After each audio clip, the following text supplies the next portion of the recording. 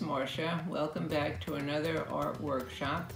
I usually have my granddaughter Emma helping me, but she's away at college and will be home in December to help me with December's artist.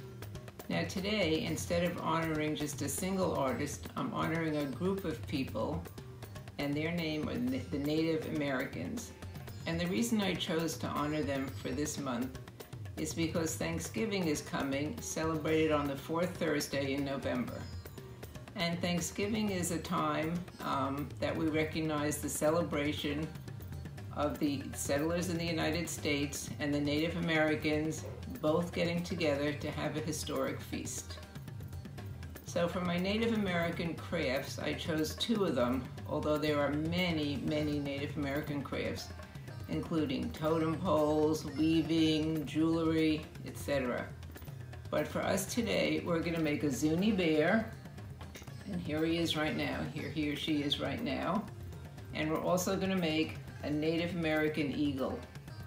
Now the bear was a very important symbol to the Native Americans.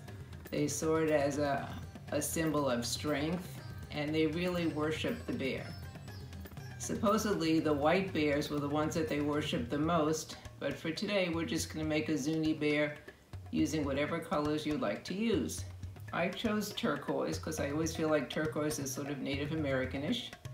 And um, what I did was, first I drew the Zuni bear, and he's basically just got a nice round back and two legs.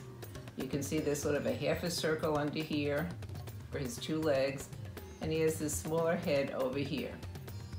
And I like to always, after I make my things, put them on something sturdy like cardboard, something that will really hold them so they don't wobble all over the place. So what I did was I made the Zuni bear, and the more important thing I made on the Zuni bear was the lifeline. And what the Native Americans thought that represented was strength from their brain to their heart. So it was a very important thing for them. And so I cut out my Zuni bear, I put him on a piece of cardboard, I drew the lifeline, and then to decorate him a little bit, I put on some feathers because the feather symbol is another very important thing to the Native Americans.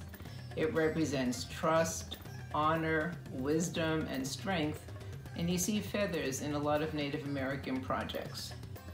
I also put on two bear paws, and that's just to further represent strength. And the way I made those, and this might be a little hard to see, I just drew them on a piece of paper and then went over them with black Sharpie and attached them on either side of the bear. So I have the bear, the feathers, and the bear prints. And what I did to hang it up is I punched two holes on the top of the cardboard put a piece of string through, and that way my Zuni bear could be uh, displayed. Another interesting thing about the Zuni bear is that Native Americans thought that if they put a little bit of cornmeal near the bear's nose when they left their house, their house would be protected. So they had a lot of um, interesting folklore, superstitions, and different things like that. The next project I made is a Native American eagle. And just like we revere our eagles, they felt that the eagle was a symbol of strength. Uh, they also thought that the eagle was considered to be a carrier of prayers, um, and many Native Americans admired the, uh, the eagle for its bravery.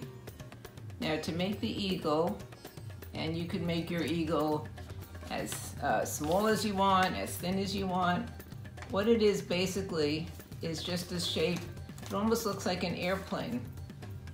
It's got the head, it's got the wings, and that's sort of one sleek line. And then it has uh, the, the wings over here. And when you open it up, you can see the wingspan, you can see the width of the body, and you can adjust that. An easy way to make an eagle is to take a piece of paper, fold it in half, trace your eagle.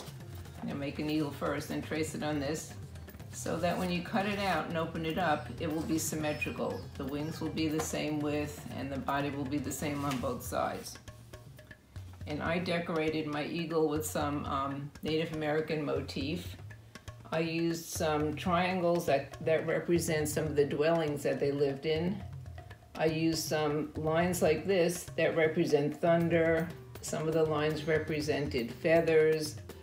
And after I glued the eagle onto a second um, piece of paper, I drew the, the talon, the, um, the nose part. I gave the eagle an eye. I added some feathers because we want to reiterate that feathers were so important to the Native Americans that they show up on almost all their crafts. I also did a little weaving on the top with my string. I punched a few holes on the top of the cardboard and wove my um, string through them and then punched more holes so I could have a hanger again to display my craft. So just to summarize, the two crafts that we did were the Zuni bear and the Native American eagle and I urge you to go on different websites you know, have an adult help you and see some of the other crafts that they did, some of the colors that they used. And uh, they're really very fascinating crafts, very interesting, a little bit different um, than we usually see around here. And I hope that you'll have fun making the bear and the eagle. Now, I'm gonna bring packets of this to the library. The packet has some feathers, some string, and some beads in it so that if you need these to make your project, you can get in touch with the library and see when you can pick these up. I'll bring them to the library um, tomorrow, which is Monday, so that you can pick your packet up and then you'll have all the supplies you'll need for your bear. The other things that you need are things that we've always uh, used before, glue, hole puncher, scissors, I like to always use a Sharpie um, when I'm doing these things so I can really see the lines that I've traced and cut them out pretty accurately. Cardboard if you have it, again for the background. And um, enjoy them, just enjoy the craft. So I'll be back next month in December featuring just a single artist. And um, But for now, enjoy November, enjoy your Thanksgiving, and enjoy making your craft. Take care and stay well. Bye now.